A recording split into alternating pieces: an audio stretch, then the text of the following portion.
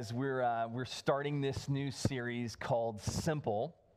And um, man, I, I don't know about you and your family, but I'm, I was thinking this week, like, how, how's it going with the, I don't know, 1000th day of quarantine? How's that, how's that going for you?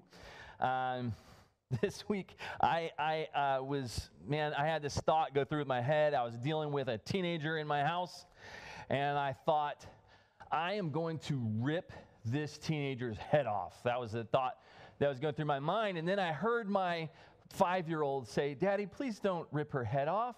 And I thought, you know, that wasn't just a thought in my mind. I must have actually said that uh, this week. And, uh, and, you know, this poor little five year old, please don't, please don't rip her head off, Daddy. Uh, you know, man, it's not, that's about how well it's going in my house. And I'm sure your house much better.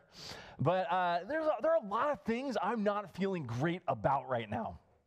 There are a lot of things uh, about our reality in, uh, and life that just it's just uneasy and i'm just unsure and i'm in a place where man i don't have a clear picture and i, I was thinking about this i mean i, I thought I, I thought that we had our minds made up about what we were going to do with school and this next step.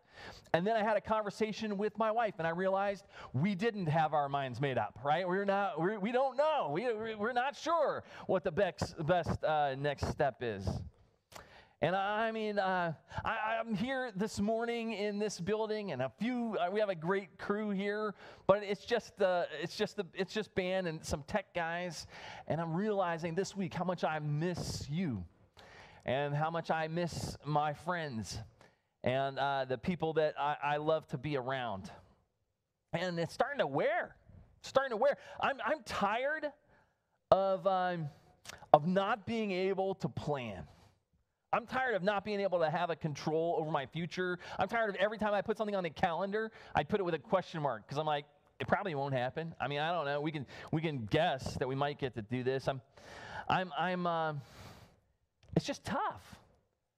I'm, I'm, I'm really tired of saying I don't know. You know, I'm at that point where no matter what question seems to come at me, I, I say, well, I just I don't know. I don't know. I'm not feeling great about a lot of things. I'm, I, am wondering, you know, I'm, I'm watching my friends uh, uh, in the black community that are, um, you know, that, that have been kind of all summer long, they've been saying, hey, this could be a moment where real change happens and uh, and we've seen some good movement, some good uh, good change happen, and people uh, starting to uh, understand each other's perspectives a little bit better, and, and starting to care for each other. And yet, there's this moment of, of kind of lull and not knowing what really good next steps would be, and what what kind of changes are, are real that need to happen. And I'm I'm not feeling really good about being able to care for my brothers and sisters and, and, and, being able to do well in, in that process of listening and, and implementing actual change. I'm not, not feeling, I'm not feeling great about that. And on top of all that, I, I've got just, you know, a family and life. I've got kids and a wife and uh, you know, we're just trying to understand how to navigate life, how to help middle schoolers understand, uh, uh navigate middle schooler and high school, under, navigate high school, and, uh, you know, in, a, in an elementary school, navigate that and do it online. Man, there's just, there's so much uh, that you could be down about right now. And, um, and it comes out when I uh, accidentally say I'm going to rip a kid's head off. You know, that's not a good pastoral moment for me. Last week, we were finishing up this, this book of Corinthians, right? We were looking at what Paul said in his letter to the church in Corinth. And as we finished up the, the, the second Corinthians, we got right to the end. It, we, we focused on this part last week. It comes in chapter 12, and he carries it through right to the end, where Paul says, uh, Paul says, God's power is made perfect in weakness. And I encourage you, I said, look, even in the midst of a time when you feel like it's weakness, God's at work. Even when you feel like, hey, this, this is a tough time, God's power is being made perfect. And that word perfect is uh, this word completion. God's bringing it to completion. So God's still at work. But as I, uh, as I started to think about this, I go, you know, yeah, uh, we, we talked about this last week. It said that, that work that God's doing, it starts in weakness, which means it starts in this place of brokenness. It starts where we admit to ourselves and to each other that uh, we can't pull it all off ourselves. And we're honest about the brokenness that we find ourselves. But then I started thinking, well, okay, if God's to be at work and God's to start building, like, what would that look like? Like, practically, really, what would it mean? What, what things would you put in place if you, if you started in a place of brokenness and you said, you know, this is tough. This has been a, I don't know, a tough summer. It's been a tough few months. It's been a tough lot of months. And now it just kind of looks like it keeps going. So, how would you start in a place like this rather than just being upset, rather than just being down, rather than just saying, Look, I don't feel great about a lot of things? How do we invite God to begin working in our lives? And, and what would that look like? What, what are the steps? What are the real practical things? What are the behaviors and the foundations that you could start with? I, I like to do this illustration. I, have done it many times before, even with, with us here, where uh, you know you pour a bunch of sand into a, a jar, and then you get these big rocks you put on top, and they don't fit right? And you say, look, it just doesn't all fit in the jar. But if you if you pour the sand out and you start with the rocks, then you pour the sand in over the top. It all magically fits. I, I love that one. I didn't bring it out because I've done it before uh, with us. But but uh, but the idea behind it is this: like you got to put these big things in place in your life, these big values. You got to set them in place. And then the rest of the things start to come together. Well, well, if we wanted to have a flourishing life, even in a time of COVID 19, what would that look like? What would you do? What would you put into place? Where would you put your energy and your focus in a way that it would pay off? Here's my kind of uh, you know, what I've been doing at least. I'm sure you've been different, but here's what I've been doing through this whole thing. When it first started, I was looking back at some of the things we did when we first started off as a church, and uh, when we started off in this pandemic and we heard, hey, we're not going to be able to meet uh, this next week. And, and, and this is what it looked like for us. First, there was panic, right? I mean, it's just outright panic. What? We can't meet? Oh, what? This thing is coming? Uh, uh what? Everything is going to change? There was just panic. And then the second thing was there was a scramble right? We had to learn quickly. Technology we had to go buy technology. We were you know wrestling with other churches trying to undercut them to get the you know cameras and not really but we were trying to get the equipment that we needed to you know and everybody needed it. And there was there was a, a, a real scramble. And then and then there was this uh, there was creativity that came in that time. Well how can we make this great? We had sort of some energy and some creativity and we started figuring out what can we do as a church? And how can we connect with our kids? And how can we connect with youth? And there was sort of uh, some energy and there was this creativity around it. And as, as we did that, we started to make adjustments. We started to say, well, what are the ways that we can do well? And, and families did this too, right? I was talking to a friend of mine who uh, owns a sporting goods store, and he he said, "Look, man, the workout, the personal workout equipment is selling like oh, I can't keep it, you know, stocked, right? Everybody's going in there buying some workout equipment. Some of you guys added great family game nights or things like that. You know, you you you made some adjustments, you added some things to your life, you you did some good stuff, uh, but but oh, after a while, a fatigue started setting in." We started talking about this in our in our staff team that uh, you know we connect with kids on on Zoom every week and and they're still doing that, but we got that you know the Zoom fatigue, right? And uh, in that kind of general sense of fatigue, kind of kind of happened across the board. I think maybe with all of us there was this sense of fatigue with this, but then but then there was this ray of hope. Like we thought, oh things are going to start opening. And we started planning, and we had this idea of hope. Where he's like, oh, here's how the rest of the summer is going to go. Here's how the fall is going to go. We're going to plan our way out of this. And so we really started planning and preparing for the future. And it was, well, it was just all dashed, right? Like every plan just ended up being dashed. And the creativity I noticed wiping away when the plans aren't working out for my family and the plans aren't working out for our church. And it went from, you know, Zoom fatigue to just plain old fatigue. And there's a sense of tiredness and a sense of longing for some kind of certainty. And I, I, I and I've kind of entered this phase. I don't know what you'd call it. It's almost like zombie mode. Like I don't, I'm not even responding to, you know, we hear a new thing on the news. Something might open, something might, whatever. And I just go, mm-hmm, maybe. And my response to everything is, I don't know. My kids say, What are we going to do for school? I don't know. You know, I just, I don't know. We'll see. Or if, I, if somebody does come up with some great answer, or some great solution, I look at them and I go, But of course, that'll change tomorrow, right? I mean, you know, it's gonna.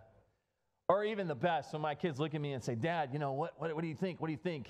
And I just look it back at them and I just blink. That's, that's about where I'm at. I got nothing. Just blink. That's it sort of zombie mode. We're just kind of floating through. And the question is could you build a flourishing life even when you feel like that? Now, I know most of you don't, you're doing great in the middle of this uh, thing, but I'm just telling you what's going on in the Minter house this morning, okay? We're just talking about the Minter house this morning. Well, the next three weeks, I want us to look at some really clear, really practical things that we can do in a time when it feels like man, there is no security. In a time when it feels like there really isn't a lot of like a sense of a hope for like at least what's next. I mean, we may have a general overall sense of hope, but just for you know what we can plan and what we can do in a time when we don't have those things, when that control is taken away, what would it look like if you stripped it all away and you just started simple? So we're going to look at the simple building blocks to a flourishing life that we find in Scripture. Jesus was asked this question many times. It's kind of like, what do I do? How do I, how do I have a great life? How do I have an eternal life? How do I have a flourishing life? And Jesus gives the same answer. And in one place, it's in Jesus' words. Jesus says this back to someone that's asking. Another place, this is uh, Luke chapter 10.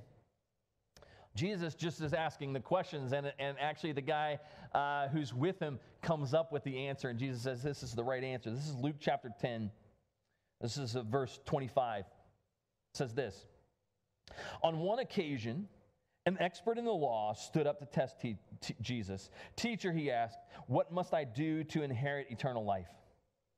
What is written in the law? He replied. And how do you read it? So Jesus is just asking the question. Jesus says, Well, what's written in the law? How do you read it? Jesus is saying, What's the summary? What, what do all the laws add up to? There are these laws that point out to flourishing life. In fact, what we're given in the scripture in the Old Testament, we're given this sense that uh, in, in the Old Testament says, look, if you want to have life and live life well, and you want to flourish in life and live to the fullest, you need to obey the law that God gives you.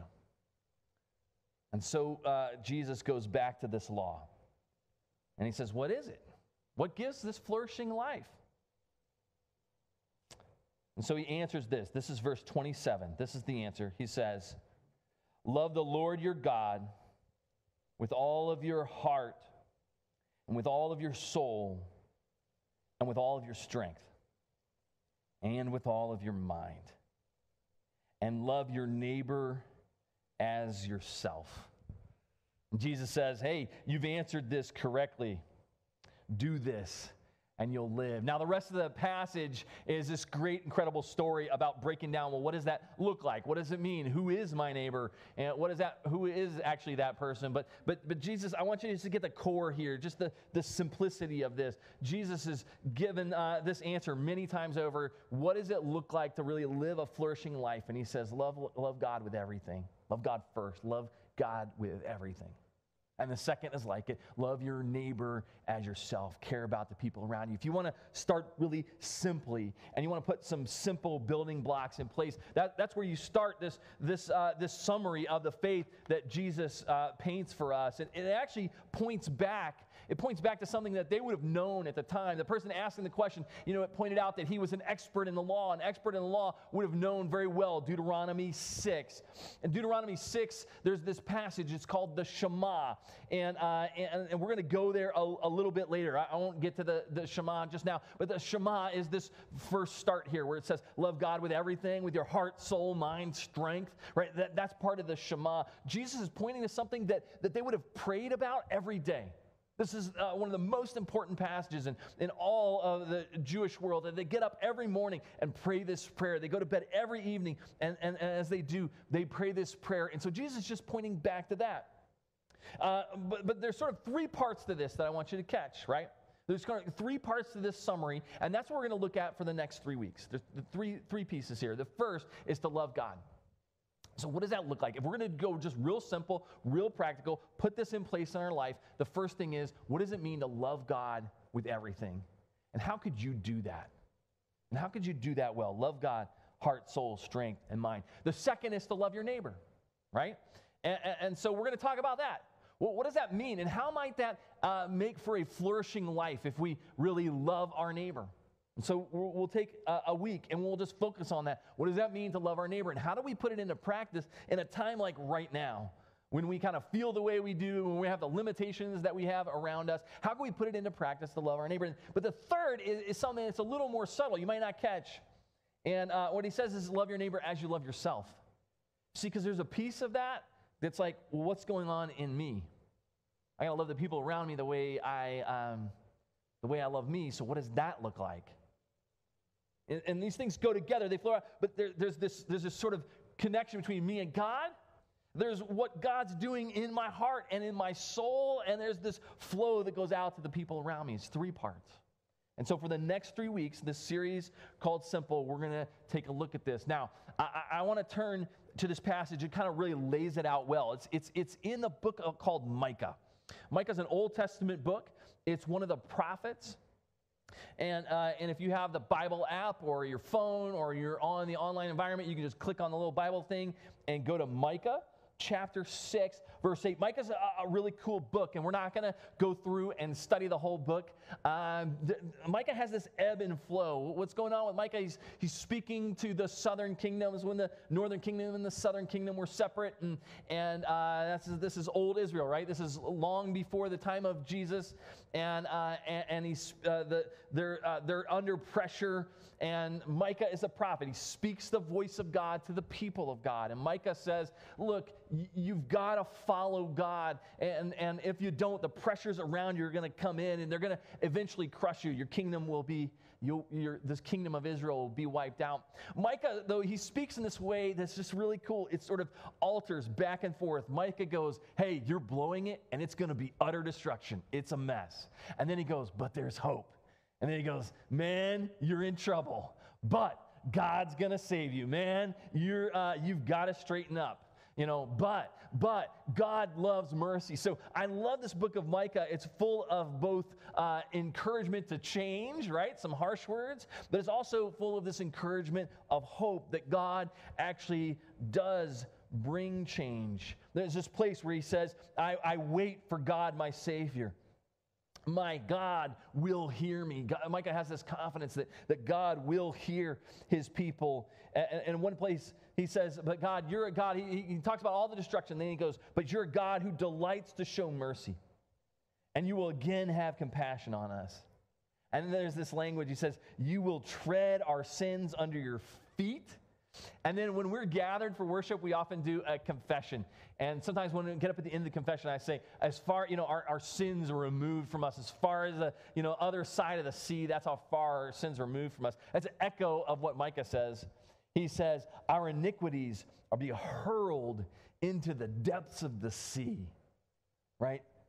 Your God who delights in showing mercy. In, in, the book of Micah, we get this promise that, that, that uh, this, this redemption will come through the town of Bethlehem. It's looking forward to Jesus coming into the world and our ability to connect with God. But, but I want us to just focus in on what's often, uh, this is a pretty famous passage, a little place in Micah chapter 6 and verse 8, because it really summarizes this, these core pieces of faith. Look at this Micah 6 8. Micah's saying to this group of people, look, you're blowing it, you're messing up, you're in big trouble, it's going down. And then he says, but guys, you know what's right. Here's how he says it, verse uh, 8. He has shown you, O people, what is good. And what does the Lord require of you? To act justly, to love mercy, and to walk humbly with your God.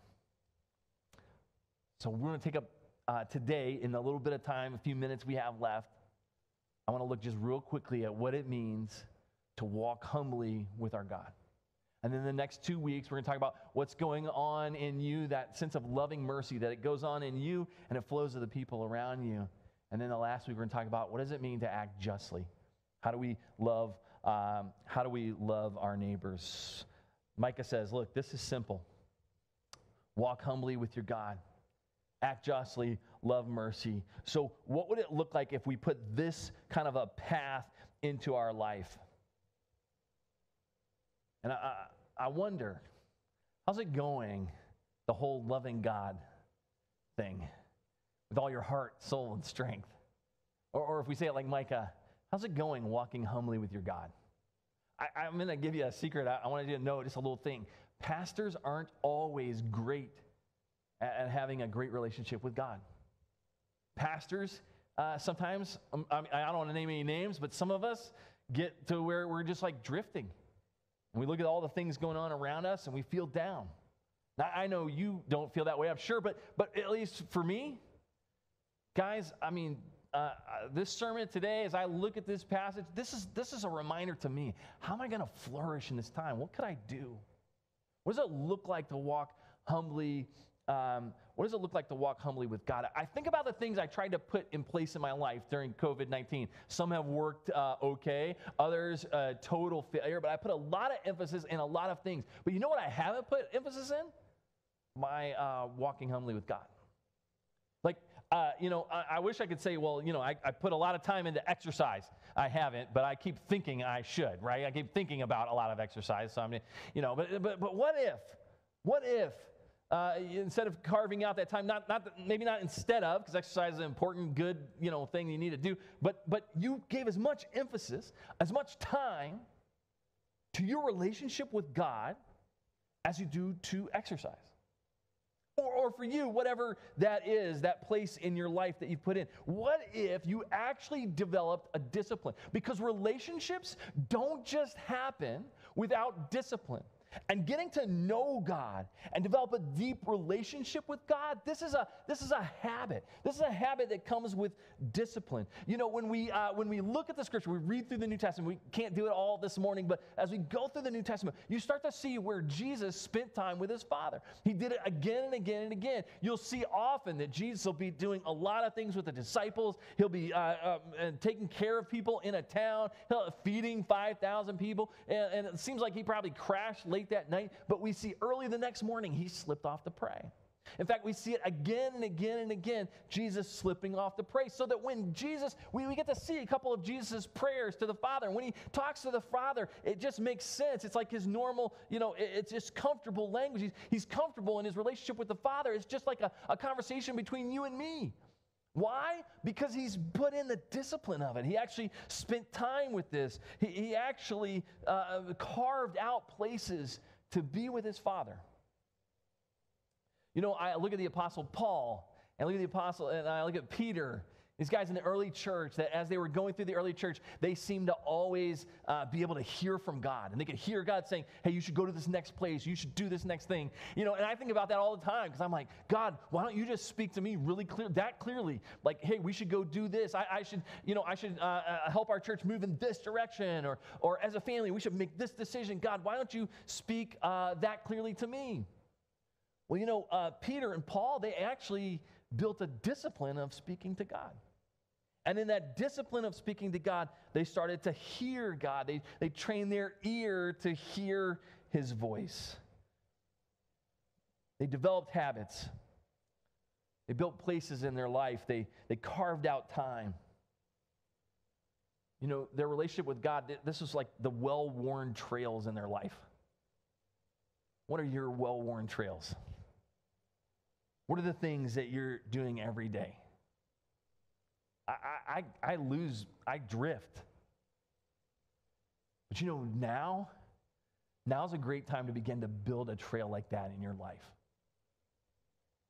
Now, this is something that you can actually do. It's something that you can actually put into place, into practice in your life. You know, there's an old tradition in the church of getting up early in the morning and praying. It's, it's a part of the church, it is a part of uh, the Shema that we're going to take a look at, right? That they would get up and pray this every morning. And I've always heard pastors talk about it, and I, I felt like, man, that sounds like holier than me. You know, they, they, get up real, the earlier you get up, the holier you are as a pastor. And I've always been like, man, you know, come on, that I mean, Jesus doesn't want to hear me early in the morning, right? God, God, I am grouchy and grumpy, and you know, I'm bleary eyed. And, you know, God doesn't want to hear me early in the morning. I'm not a, a morning guy, but there is something, there's a reason that this practice starts their day. Because what it does is they begin to get up and speak to God and know who God is. Begins to orient them for their whole day. It begins to focus the direction of where they will spend their time this day. It helps them understand who they are and where their place is in the world. I want you to turn with me. This is Deuteronomy 6. This is the prayer that the Jewish people would pray every morning, and they usually pray it every evening, and then at night as they go to bed. So, three times a day. This is Deuteronomy chapter 6, starting in verse 4. It's uh, such a famous prayer. It has a, a, name called the Shema. The word Shema just means hear because it starts off with, with hear. Okay, so it's not a tricky name here. Uh, Deuteronomy 6 4, it says this Hear, O Israel, the Lord our God, the Lord is one. Love the Lord your God with all your heart, with all your soul, and with all your strength. And then it goes on, talks about these commandments that I give you today. But this is the, this is the core of this prayer. Love the Lord your God. So focus up. It's God. He, he's God is one, and God is every. You know, God's. Uh, it is all God's. Everything belongs to God. God created all, and they actually orient their day this way. And they remind themselves every morning. Uh, everything's God's. I'm going to love God with everything, all the resources I had heart, soul, strength, mind, everything. I'm going to give that all to God. And so this practice began uh, way back. And when Jesus says, Hey, how do you summarize a faith? He actually points back to this early practice of getting up in the morning and giving your day to God. Well, I wonder for you and for me, what would that look like? What would it be like if my habit was to orient my whole day towards God? What would it mean if I started with God so that it began to change my perspective on the decisions I have to make in the day, begin to change my perspective on the worries that I have about the day, begin to change my perspective on the things I'm excited about in the day because I start my day with God? You know, uh, Cami and I find sometimes our, our relationship is, uh, you know, we have a this we have a great marriage, but even in a great marriage, sometimes you find yourself floating you know, kind of the zombie zone, like I was talking about before. Like, you know, it, it gets to be hard, and uh, we realize, hey, things are just kind of static, and we're not we're not really progressing, and we don't feel really connected. And you know, uh, when we when we have that, when we notice that in our lives, we've learned to listen to each other. I've learned to listen to Cami, and she says, "Hey, I, have been missing you. Uh, where have you been?" And that that's this little marker, this little reminder. And uh, and you know what I, I do? I don't turn to her and go, you know, I'm not you know, I'm just not feeling it right now, right? Like, hey, man, I'm just not feeling it. You know, you're kind of grou- grouchy a little bit, and, you know, I'm not, no, we don't do that, right? Because we know that if we want to have a good marriage, if we want to have a good relationship, that means we have to carve out time. So no, when I hear that from Candy, I don't just go, oh, I'm just busy. Can't, we just can't make it all work. Uh, no, the, the relationships actually take this discipline of setting time in the schedule. When things feel a little, uh, uh, when they're not, when they feel like they're static, they're not moving, or when they feel like they're just kind of floating, we don't just back out and go, well, hey, if there's no friction, then everything must be okay. No, we go, it's time to lean in. If you want to work on a relationship, you have to build habits of connection. If you want a relationship like that to flourish, you've got to put time into it. You know this, you get it. Well, this is what it looks like with your relationship with God. And yet, somehow, I, I want to say, look, hey, if I'm not feeling God, if God's not doing something for me, I just don't feel really connected with God, I'm not feeling the presence or the power of God in my life, you know, every day, then, uh, then you know, I don't know. I'm just kind of feeling disconnected with God. That's God's problem. Maybe God would show up miraculously. But actually, actually, if we look at the example of Scripture, what it says is we can, we can begin to build these disciplines into our life. So here's what I want you to think about. In the next couple of days, now, if you think, hey, I'm going to do that as soon as school starts back or as soon as our life gets a little bit regular, it'll never happen, okay? So, so here's what I encourage you to do. In the next couple of days, I want you to begin to think what if I, I am just we're going to do a three part plan to uh, flourishing in our lives in this time of COVID. And in part one, I want you to think what would it look like if I actually started to beat a well worn path in my relationship with God? What would it look like if I actually carved out time for God? What would it look like if I thought, I'm going to lean in to my relationship with God? Guys, there's so many things going on right now. There's so many tough decisions that we have to make. I've got to get kids ready for school. We got to do it at home, but then also be ready to shift at a moment's notice. If we're going to shift at a moment's notice, we got to have church up and ready. I mean, I've got so many things that I'm so worried about and so busy about. I do not know how I can carve out extra time for my relationship with God, except that I know this. If I want to flourish, I need to clear off the table and start really simple. And so what I want you to do is go real dead, just dead simple today. What's one thing that you could do? What's one thing that you could do that you could put into practice? And I want you to try it. I want you to challenge yourself. I want you to do it for one week. Like every day, what does that look like? How could you connect with God? What is your habit? How can you build that habit? There's this, uh, there's this story of, uh, uh, of Paul and Silas. It's Acts 16, and we won't pull it up today, but it's Acts chapter 16. And Paul and Silas, they've been thrown in, into prison. And, and, and, and uh, you know, it, it, wasn't right how they were thrown into prison. Some guys didn't like that they were, uh, they had healed uh, someone that was making money for them. It's a longer story. I, would love to get into it. It's, it's, actually a great story. So go back and read it, Acts chapter 16. But, but it really wasn't right. And they were Roman citizens and they were thrown into prison without even a trial or anything else.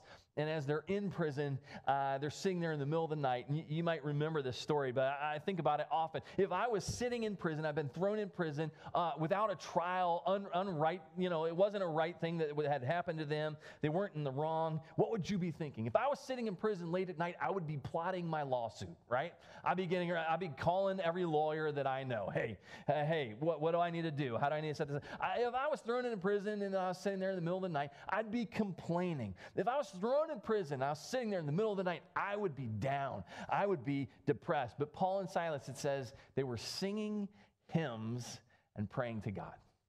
And as they do, something miraculous happens. There's this earthquake. Man, it's this incredible story. But they don't, they don't, they're, they're, they're, sort of like freed, but they don't run off. They, they stay with the prison guard, and prison guard becomes a follower of Christ. And I mean, it's just, it's a great story. Go back, read the story. But I, I love this picture of Paul and Silas. They're sitting there, and, they're, and, and they're, what they think to do in the midst of a tough time is to turn to God and sing hymns and pray.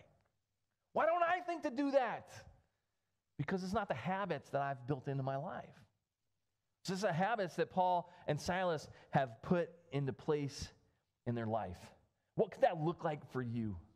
For some of you, it just needs, you need to get up a little bit early, pull up your calendar, look at your calendar, and begin to give God everything on that calendar, one thing at a time. You need to get up a little bit early and just lay hands on your cell phone that has all the emails that are coming at you and just pray, you know, pray the devil out of that thing. I don't know. Uh, you, you need to just give it to Jesus. For some of you, you need to spend time reading Scripture. You need to pick a book of Scripture and read it. You need to find somebody to do this with you. Man, I'll do it with you. I, you know, we do things better. We can build a habit in our life if we get somebody to do it with us. So find somebody that's willing to do this. Read Scripture. Read it together. And Get up every day and just read it. Look, if you can't read uh, a whole chapter a day, that's fine. Read one verse. Some of you just need to start. You need to take a step. Others of you need to build a habit that can last for longer. I have some friends that their alarm goes off every day at 10 a.m. and at 2 p.m. That's because of a, a Luke chapter 10, verse 2. It says, Pray to the Lord of the harvest, for the workers are few. The harvest is great, but the workers are few. And they're praying that God would raise up leaders to care for the people in the country. But they've done it by just putting these two alarms on. And I mean, it's a little bit awkward, like you're hanging out with them, and then all of a sudden their alarm goes off, and they're like, hey, just, I'll be back in just a minute. And they just kind of go find a little place and they pray just for like two minutes. It's not like a big deal. Um, you know, pick your verse, put that into your phone. Just make that a habit this time, something that draws you to God. Some of you need to get a journal and begin to write, and you need to talk to God, and you do that well by writing. Others of you need to go deep. Some of you need to fast. You know, this is a, this is a discipline, this practice in Scripture where you give up. You give up food because you've got big things weighing on you, and, and you're so stressed out. And you're going, I don't know how we're going to do the next thing. I don't know where it's going to come from. And you know what they did in biblical times in that? They actually fasted. They, they didn't eat. Like a day, maybe more. We, we had one place where Jesus said he was fasting for 40 days, right? They didn't eat. But it wasn't like a hunger strike, it was a calling out to God. I'm not going to eat today. Instead, I'm going to be reminded, God, that it's only you that provide. It's only you that gives me my next breath and my next meal. And no matter how hard I try and I plan, I can't make it happen. So, God, I'm going to fast today and I'm going to call out to you and I'm going to ask for you to speak to me. And some of you have never tried that. And that sounds really crazy. And I want you just to try it. Just do it. Give up one meal. Do it maybe one meal a week. And instead of having that meal, you go find a little place and just talk to God one day a week, one lunch. Some of you, some of you need to fast, not because, uh, not because you need to add something to your life, but because your life is so stressful. You need to clear things out of the way and start at zero. What would it look like for you? Some of you, some of you just need to get in a room and turn the music up and sing you know, it, turn your thing up and, and uh, you know, find, we can help you find a, a good uh, Spotify playlist with some uh, music that points us to God. Some of you need to do this. Others of you need to take that walk that you do every day and, uh, and instead of just going through the list of all the things that aren't done, you need to take that walk and turn it into a time of prayer. I don't know. I don't know what it looks like for you. I, I, I do know that there are places that, uh, uh, that that help me get into a mode where I'm connecting with God. And sometimes for me, I sit and I have an office over here in our youth center, off the side of it. And some days when nobody's there, I just go over to the youth center. There's, there's nice risers there. It's just a great place just to kneel down. And uh, it only happens when I'm when I'm just crying out to God. And so I go over there and I can I can be pretty loud in, in, in my little prayer place because nobody's in the room and I'm, you know, I'm, I'm talking into the floor basically. I just get down on my knees and I just call, I just cry out. I cry out for our church. I cry out for you. I cry out for our family. This is, uh, this is the start. I've got to have this place where I'm able to talk to God. And sometimes I just sit there and listen. Some of you need to find a little place on the floor. You just need to lie down on the floor and talk to God. I don't know. I don't know what that looks like. But I do know that if you want to start to flourish, you need to clear things out of the way. And you need to put these simple elements in place. And as you do, God will meet you there.